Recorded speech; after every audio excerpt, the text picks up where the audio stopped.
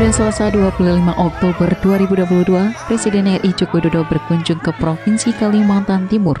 Ada yang berbeda. Pada kunjungan kali ini, Presiden Jokowi menaiki kapal perang menuju ke titik nol IKN Nusantara tiba di Bandara Internasional Sultan Aceh Muhammad Sulaiman Sepinggan, Kota Balikpapan sekitar pukul 09 lebih 55 waktu Indonesia Tengah, Presiden Jokowi bersama rombongan langsung melanjutkan perjalanan menuju pasar kelandasan Kota Balikpapan untuk menyerahkan bantuan tunai langsung kepada para pedagang pasar dan pedagang kaki lima yang ada di kawasan tersebut. Selain itu, Presiden juga akan menyerahkan sejumlah bantuan sosial kepada para penerima manfaat di kantor pos cabang Balikpapan, Kota Balikpapan. Bantuan sosial yang diserahkan antara lain bantuan langsung tunai, bantuan bahan bakar minyak, dan bantuan subsidi upah.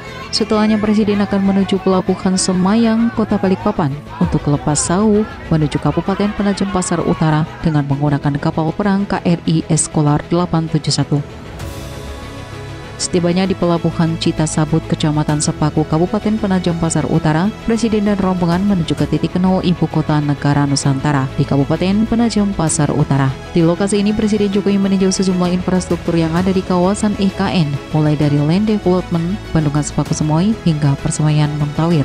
Usai peninjauan, Presiden dan rombongan akan menuju Bandara Internasional Sultan Aceh Muhammad Sulaiman Sepinggan, Kota Balikpapan, dengan menggunakan helikopter Super Puma TNI Angkatan Udara untuk kemudian lepas landas menuju Jakarta dengan menggunakan pesawat kepresidenan Indonesia 1.